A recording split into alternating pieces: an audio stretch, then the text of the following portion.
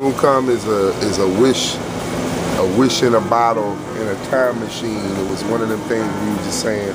Soon come, we're gonna we're gonna realize our dreams. Now just think about what you know and what you don't and what you want from the time right now since your day. It's the 10th anniversary of Soon Come, and uh, we basically just want to, you know, do it again, see what it feels like. It's like putting on an old jacket, varsity jacket, you know, put it on, see how it feels. On point for the serious joint. On the serious joint, I must anoint and cleanse the soul of the musical whole. Cause I don't even think back then we knew, you know, how our lives would change from doing that album.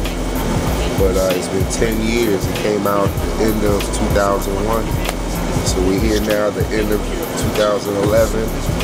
And it's the 10 year anniversary, man. And since then, I mean, everybody, we've been raising families, doing full time careers, and still traveling, still making music, still building with all our brethren, all our musician friends, and collaborating, mad collaborations all over the world. And um, so it's really cool to be able to come back together after all that time and do it. Because me and Blue don't really perform a lot. We really don't perform at all together. So the fact that we come together and do this is going to be, as, as people say, it's going to be epic.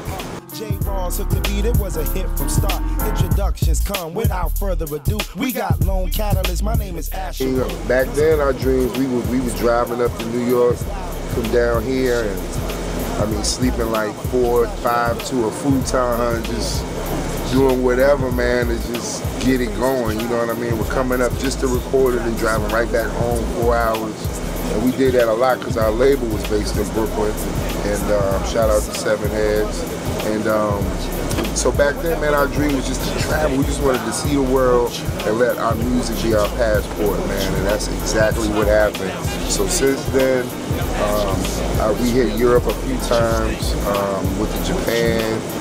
Uh, went all over the States, Canada, and then, you know, within maybe the last two years or so, I've been going, to, maybe the last four years, I've been to Africa, went to West Africa first, you know, with the students. And last year we went to South Africa three times, performed during the World Cup, just did all of that, met Double HP as part of this Bloom Exchange.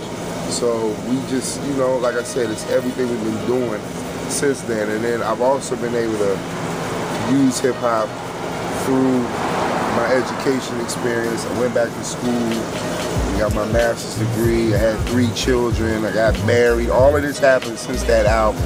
So, you know, even even with that, I'm on my 10th anniversary for my marriage as well.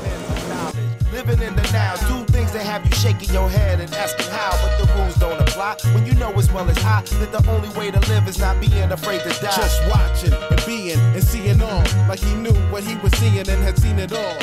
So this is like, a, you know, 2011 is, is, is the year of, for me, it's the year that I'm actualizing everything that I wanted to do. I'm actually living in my moment and, and It's about my time. passion, I was on some know what I road every other way, trying to bust out the gate and beat fate. But lately, I'm moving in my time, not your time, cause it's not your cheese, it's mine. Yo, when I rhyme, I intertwine my mind with the divine. The moment when the divine exponent is trying, it's atonement.